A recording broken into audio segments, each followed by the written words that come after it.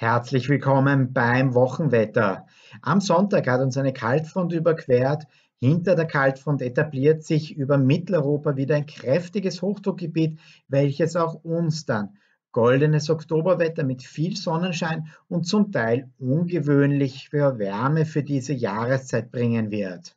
Die Nacht zum Montag wird aber noch einmal besonders in der Nordhälfte kalt.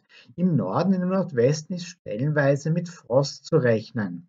Die Temperaturen liegen in diesen Regionen zwischen 5 und minus 2 Grad. Im Süden unter den zum Teil noch dichteren Wolken sinken die Temperaturen auf 10 bis 5 Grad.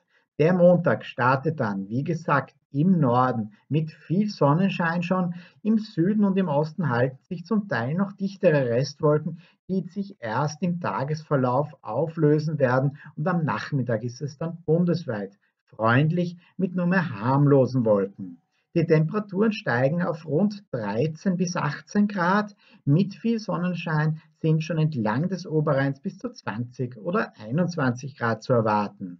Am Dienstag, am Mittwoch und am Donnerstag bleibt uns dann das ruhige Hochdruckwetter mit viel Sonnenschein, aber auch schon zum Teil zäheren Nebel- und Hochnebelfeldern erhalten. Diese wird es besonders im Süden und stellenweise auch im Osten geben. Die sollten sich aber dann um die Mittagszeit oder am frühen Nachmittag überall auflösen. Sonst ist es bundesweit von der Früh weg bis zum Abend sonnig und die Temperaturen steigen je nach Sonne und Nebel auf rund 13 bis 20 Grad mit Sonnenschein sind zum Teil 20 bis 25 Grad zu erwarten.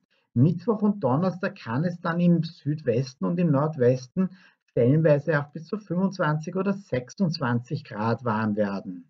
Am Freitag wird uns voraussichtlich vom Westen her mehr Bewölkung erreichen. Ob aber dann schon mit Regen zu rechnen ist, ist aus heutiger Sicht noch offen.